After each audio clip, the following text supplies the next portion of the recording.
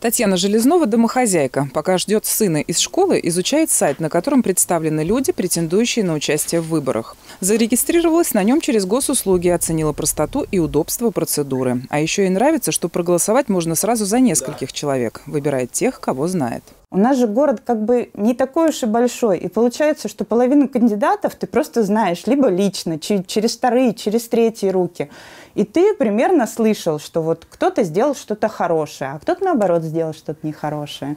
И как бы само собой к этим людям больше доверия, да, которые хорошее что-то делают. Юрист Виктория Ирайзер с профессиональным вниманием изучает программы кандидатов. Всю жизнь прожила в Одинцово. Здесь же планирует создать семью и строить дальнейшую карьеру. Ей важно, что кандидаты могут предложить молодым людям. Есть из чего выбрать. В округе зарегистрировано более сотни кандидатов в кандидаты. Кандидатов много, но для меня важно, чтобы была простая, понятная программа и учтены ли в ней а, проблемы молодых.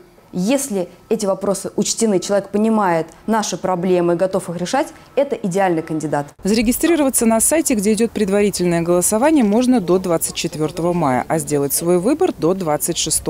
Единая Россия внесла в избирательные бюллетени даже тех, кто не состоит в партии. Это делает процедуру по-настоящему общенародной и доступной.